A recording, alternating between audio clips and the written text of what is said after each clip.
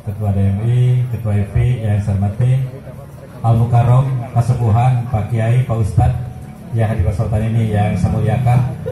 Tak lupa kepada Pak Kades yang nampak hadir di sini yang saya hormati hadirin yang berbahagia. Pertama, marilah kita menjadikan puji serta syukur kehadirat Allah yang Maha Gofur yang dengan izin serta hidayahnya di pagi hari ini kita bisa berkumpul di tempat ini untuk sama-sama mengikuti kegiatan silaturahmi yang dibungkus dengan kalimat yaitu halal bihalal. Salawat serta salam semoga tercurah dan dilimpahkan kepada baginda Rasulullah Muhammad SAW. Bapak Ibu yang berbahagia, terima kasih kepada panitia penyelenggara, khususnya saya selaku kepala kawah kecamatan Cisaat hari ini ada kesempatan bisa hadir di tempat ini bisa silaturahmi dengan bapak-bapak beserta ibu. Karena perlu saya sampaikan saya di Cisaat tugas baru menginjak lima bulan.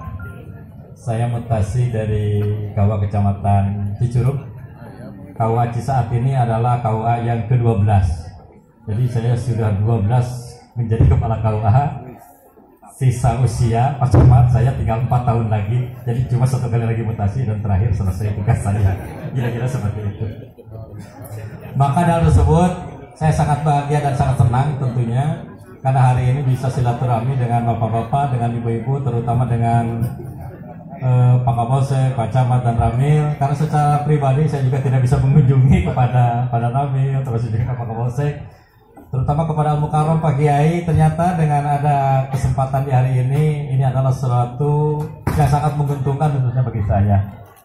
Maka pada kesempatan ini pula saya secara pribadi dan secara kedinasan tentunya banyak kekurangan kehilapan. Dengan pengharapan pula dari semua yang ada di sini bisa memaafkan kepada saya secara pribadi dan secara kedinasan. Dan insya Allah kalaupun memang ternyata ada kehilapan kealpaan pernah dibuat oleh Bapak beserta Ibu di belakang saya hari ini pula dengan hati yang sangat tulus, hati yang sangat ikhlas, saya memaafkan Bapak beserta Ibu yang kesempatan ini khususnya. Dan tak kalah penting juga pada kesempatan mulia ini ingin saya juga menyampaikan eh, kawaji saat itu akan mengadakan kegiatan bimbingan manasik haji. Mungkin ada sahabat keluarga yang ada di sini kami akan mengadakan bimbingan manasik haji itu tiga kecamatan Pak Camat.